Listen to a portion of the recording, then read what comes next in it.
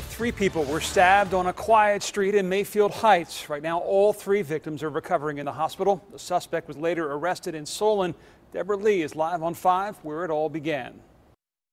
Mayfield Heights police are telling me that Matthew Sepik broke into his ex-girlfriend's apartment on Golden Gate Boulevard, allegedly stabbed her, her mother, and a family friend. He fled but was apprehended in Solon. Police say he darted into traffic and he was hit by a truck. Now, neighbors on Golden Gate are stunned today. They never expected this to happen so close to home. Live on 5 in Mayfield Heights, I'm Deborah Lee.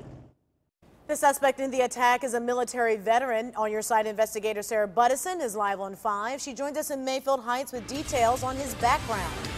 Mayfield Heights police have been keeping an eye on Matthew Sepik's apartment here behind me. A few few of these buildings behind me all day while they wait for a judge to sign off on a search warrant. As you were saying, we did some digging and found that Sepik is a 28 year old Iraq War veteran who served several tours as a military police officer. He currently works as a security officer at Hillcrest Hospital, which is just around the corner from where I'm at now. A former classmate we tracked down today told us that Sepik graduated from CSU last year and had applied to be a U.S. Marshal. That same classmate also told us that during a recent conversation with Sepik, Sepik expressed that he was very sad about his breakup with his girlfriend. Live on 5 in Mayfield Heights, I'm investigator Sarah Buduson.